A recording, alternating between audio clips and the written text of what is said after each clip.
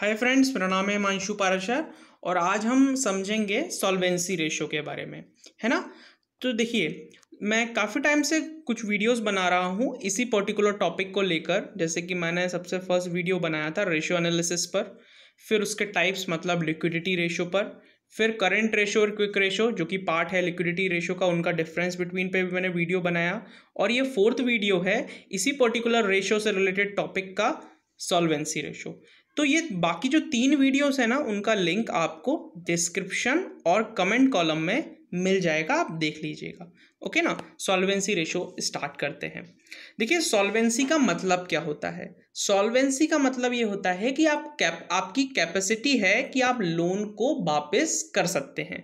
Solvency का मतलब ये होता है है ना? जैसे फॉर एग्जांपल मैंने या किसी कंपनी ने, है ना?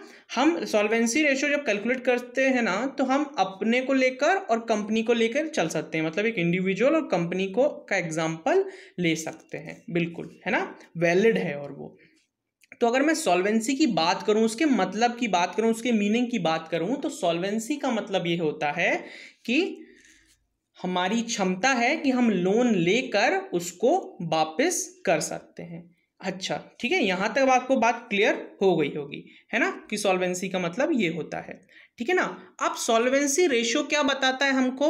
लॉन्ग टर्म फाइनेंशियल पोजीशन के बारे में बताता है। है ना? सॉल्वेंसी रेशियो क्या बताता है? लॉन्ग टर्म फाइनेंशियल पोजीशन के बारे में बताता है। ठीक है, यहाँ तक बात क्लियर हो गई। अब हम मीनिंग पढ़ते हैं और अच्छे से इसको क्लियर करते हैं। ओके थोड़ा सा ओवरव्यू मैंने आपको दे दिया।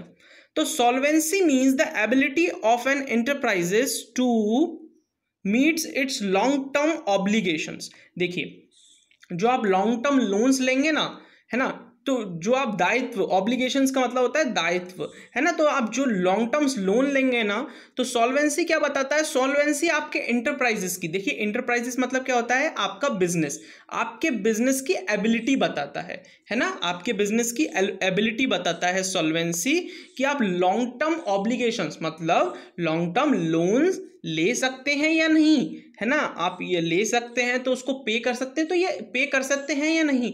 तो ये कौन बता रहा है? ये हमको सॉल्वेंसी बता रहा है ना? And the solvency ratio reveal तो देखिए, अब सॉल्वेंसी का नाम आ गया ना सॉल्वेंसी रेशो का तो सॉल्वेंसी रेशो जो है वो रिवील करता है। रिवील मतलब उसको एग्जिबिट एग्जिबिट का मतलब जैसे रिवील का मतलब उसको प्रदर्शित करना, बताना, है ना?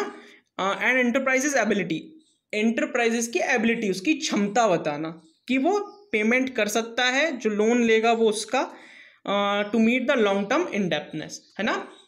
यहाँ तक आपको क्लियर हो गया होगा। ठीक है ना? वहीं मैं बात करूँ सॉल्वेंसी रेशियो के आ, के फुल फॉर्म की या सॉरी फॉर्मूला की तो total asset upon total external liabilities एक बात और क्लियर मैं आपको कर दूँ। यदि टोटल एसेट्स ज़्यादा हैं फिर से क्लियर कर देता हूँ। यदि टोटल असेट्स ज़्यादा हैं as comparison to external liabilities की तो क्या होगा?